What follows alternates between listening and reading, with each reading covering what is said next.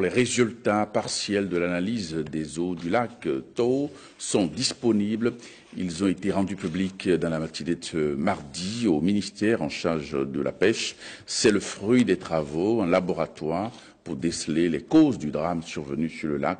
Il en ressort une intoxication due à des causes endogènes au lac Toro. Sur Terre à Terre Bénin, notre mission, c'est de pouvoir rendre l'information environnementale accessible de façon terre à terre.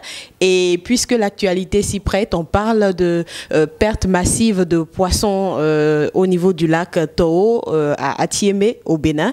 Et le professeur Michel Boko avec nous aujourd'hui va nous permettre d'en savoir plus, de comprendre ce qui se passe réellement dans des termes très très simples. Qu'est-ce qui se passe à Atiémé, professeur? Intoxication aiguë par contamination chimique venant d'une source endogène au lac par infiltration souterraine. C'est la substance des résultats des prélèvements effectués dans les eaux du lac Toro par le laboratoire central de contrôle de la sécurité sanitaire des aliments. On sait que le lac se trouve dans une zone qu'on appelle la dépression de la Lama. Et dans cette dépression, il y a parfois des endroits où il y a affleurement des eaux, euh, souterraines. Il se pourrait que le lac soit peut-être dans une zone, probablement, où il y a contact entre les eaux souterraines et les eaux de surface. Et lorsque vous savez que ces eaux de surface et les eaux souterraines n'ont pas souvent le même type de composition, il peut y avoir d'autres phénomènes, il peut y avoir d'autres compositions, d'autres composés chimiques. Lorsqu'il y a remontée peut-être de ces eaux souterraines vers les eaux de surface, quand il y a contact, il peut y avoir apport de composés et, souvent, ces apports sont souvent en forte concentration. Ce qui vient souvent de sous terre est souvent en très forte concentration et lorsque ça vient euh, au contact de l'eau, l'effet de dilution est tel que ça ne peut pas absorber tout. Donc ça pourrait expliquer, je dis toujours, c'est des hypothèses qu'on va chercher à vérifier dans les jours à venir. Il suppose que ce sont des remontées, des relagages, comme on dit, à partir des couches géologiques. Cela veut dire que les poissons de ces lacs-là sont interdits de consommation à vie. Puisque les couches géologiques ne vont pas changer.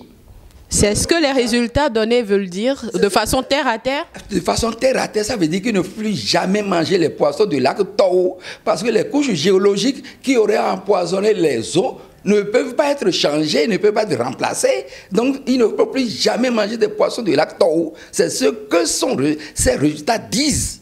C'est une déclaration assez, assez, grave quand même. C'est, parce qu'on consomme les poissons pêchés dans nos eaux, dans nos marchés. Euh, tout le monde les consomme d'ailleurs. Justement, en le disant, il n'a pas fait attention à la gravité de ce qu'il dit. Il, dit que ce sont des couches géologiques qui auraient pu empoisonner le lac. Mais comment on va faire pour alors rendre le lac salubre? Impossible, puisqu'on ne peut pas déplacer le lac, puisqu'on ne peut pas non plus déplacer les couches géologiques qui ont provoqué l'empoisonnement. Ça veut dire qu'il ne faut plus jamais consommer les poissons du lac, du lac ni les poissons des autres lacs, lac Rang et autres, qui se trouvent dans la même dépression. Ce qu'il dit, c'est très grave. Depuis le temps qu'on connaît la dépression de la lama. Au moins les premiers sondages remontent aux années 1905. La façon dont on fait les prélèvements, il y a une méthodologie très précise. Vous prenez les sondes, vous prenez les échantillons depuis le sommet jusqu'au fond.